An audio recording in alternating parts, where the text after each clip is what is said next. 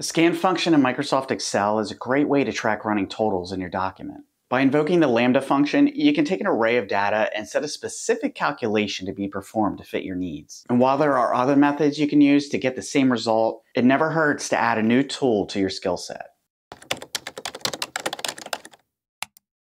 I have this debt payoff calculator that tracks the principal balance of a credit card with each new minimum payment. More importantly, it calculates the interest with each monthly payment to keep the running balance more accurate.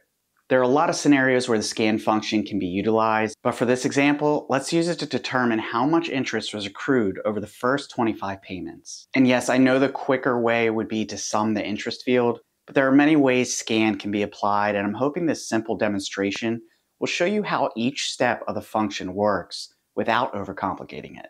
So let's begin our formula with equals scan, and after the opening parentheses, you can see there are three arguments needed for it to work. There's the initial value, the desired array to scan, and the calculation you want to apply to the array. Since we're working with numbers, I'll enter 0 as the initial value. If it were text strings we were scanning, your initial value would be an empty pair of double quotes. You can also set the initial value to any number you want, but I'll get to that in a minute. After the initial value, we can select the array, which is our interest field. Enter the comma, and now it's time for the calculation. So we've given the scan function a starting point, and we've set the values we wanted to iterate through. The calculation argument is defined so Excel knows what to do with those numbers. And to define that, we use the lambda function. Lambda allows you to create a custom formula which doesn't rely on absolute or relative references. This makes the calculation work seamlessly as it scans through the array. I'll type in lambda with the open parentheses and set my parameters. You can name them whatever you like, but for simplicity, a popular option is to refer to your parameters with alphabetic ordering like this. My two parameters are a and b. a is our initial value and b is the first value in the array. The calculation of a plus b adds the two together. With a final closing parentheses, hit enter and the scan function spills down the column.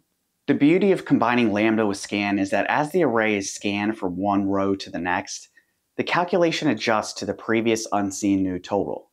So in the first return output, A was our predefined zero, and B was the first interest value in the array. When scan moves to the next row, A becomes the previous calculated total, and B is the next interest value.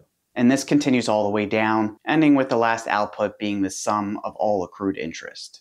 Now, there may be scenarios where you don't want your initial value to be zero. For instance, let's say you transferred a balance from another credit card and want to include the previous interest payments in your total. I'll say we previously paid $500, so to include that, we change the initial value from 0 to 500 and hit enter.